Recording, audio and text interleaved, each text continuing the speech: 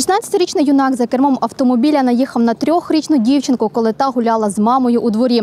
Після автопригоди дитину одразу доправили до Мукачівської дитячої лікарні. Вона перебуває в реанімаційному відділенні. Її стан кваліфіковано як важкий. На місці було проведено освідування 16-річного. Попередньо встановлено, що він п'яним не був.